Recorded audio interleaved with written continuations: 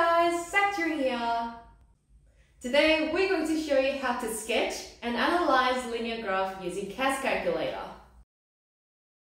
Let's sketch and analyze a linear graph on TI Nspire CAS calculator.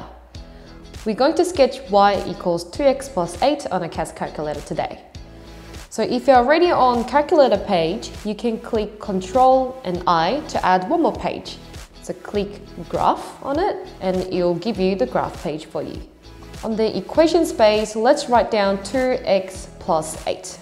Using red line, they'll sketch your equation for you. If you want to change the window setting, so the, so the x values and the y values, you can go on menu. If you want to change the window setting, you can go on menu 4, 1. So from here, you can adjust the x minimum value, x maximum value, y minimum value, y maximum value. So let's try change our minimum x value to negative 8 and x maximum value to 8. And let's change our y minimum value to negative 15 and y maximum value to 15. And click OK. And as you can see on the screen, it got spaced out. As you can on the screen, they changed the X, Y minimum maximum value for you and zoomed out. Or you can use the mouse trackpad trackpads to click on the Y maximum value and you can type the number that you want to change the Y, y maximum value to. Same for the Y minimum value, X minimum value and X maximum value. Next, let's trace our points on the line. Click on menu 5 and 1. And if you click on the right arrows and left arrows, they'll move the points up and down for you. And if you want to find the y-intercept value, which occurs when x equals 0, just click number 0, enter, and they'll move to the point when x equals 0. So as you can see, the y-intercept will be 8. Furthermore, if you want to find the y values when x equals to 4, just like you find the x, just like you found the y-intercept, just click on number 4, enter. They'll move to a point when x equals to 4. So you have the coordinate on the bottom right, 416. Or if you want to find the y value when x equals to negative 3, simply click negative 3, enter, and they'll move to a point when, when x is negative 3.